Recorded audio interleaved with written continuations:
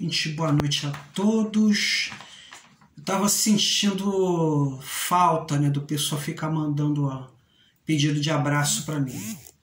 Gente, só que hoje eu não vou mandar só abraços não, tá? Eu vou contar cenário triste. Né? Quem vai inaugurar o cenário triste é um menino que me expulsou do, do grupo de WhatsApp excluídos do hangar.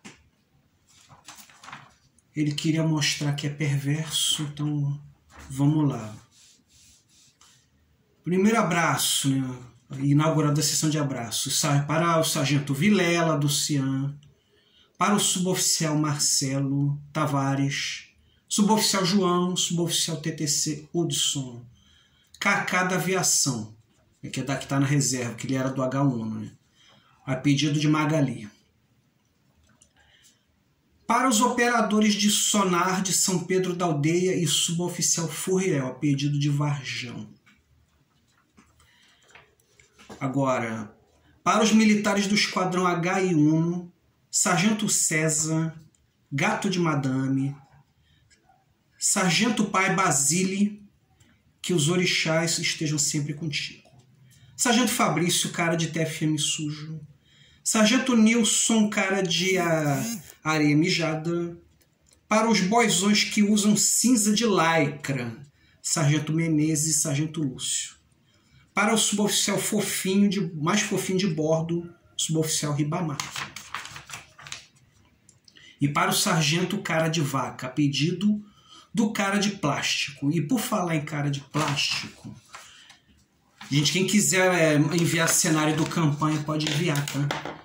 que o cenário do cara de plástico foi o seguinte: o primeiro é que ele estava com os campanha na Vila Mimosa, na Victor Mike, e chegaram lá de noite as meninas queriam ficar com o cara de plástico, ele nem se emocionou tal. Uma menina mais linda que a outra, né, tal. E quando estava já quase mas já amanhecendo já, ele viu lá uma senhora nua em cima da mesa, de uns 60 anos, quase 70, que, a, que tinha a aparência da múmia de Tutankhamon.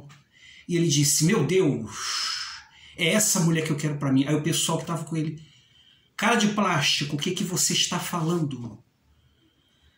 Você tá maluco? Não, ela é o amor da minha vida. Aí ela, ele foi, se aproximou da senhora lá, acordou a senhora, minha senhora, fica comigo. Você é a pessoa que eu tenho, que eu tenho procurado por todos esses anos. Você é a razão de, do meu viver e o motivo da minha existência. Então o pessoal teve que puxar ele, agarrar ele, segurar ele para levar ele para bordo, porque senão ele não viria. Esse é o primeiro cenário do cara de plástico.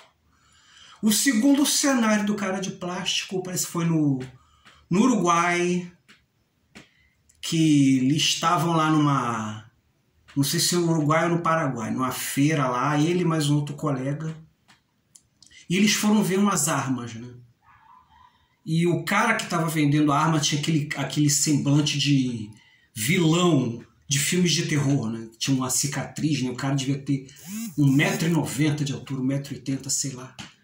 Aí ele começou a mostrar lá as armas, né? A pistola, tal. Aí falei, vocês vão comprar o quê? Aí falou, não, a gente não vai comprar nada não, é, a gente só veio dar uma olhada. Vou olhar? Vocês vieram olhar? Vocês vieram aqui só para olhar, não vou comprar nada? Vocês são o quê? Vocês são da polícia? Vocês são agente secreto? Vai dedurar a gente? Fecha a porta. Aí fechou a porta lá do armazém que eles estavam lá. Vocês só vão sair daqui se vocês pagarem 500 reais. Ele não tinha 500 reais, então ele começou a ligar pros amigos, pros campanhas dele. Falei, e socorra! Socorro! Me ajuda, eles vão me, é, vão me, me torturar, vão me estuprar, vão me matar.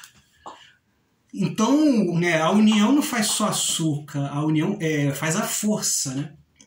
E os colegas conseguiram né, levantar lá 500 reais e conseguiram resgatar né, o cara de plástico. Então, uma, é, um alerta aí, tá, gente? Curiosidade matou o gato, tá? Não seja curioso. Curiosidade não é bom, tá? Gente, um beijo e um abraço para todo mundo aí. Beijo.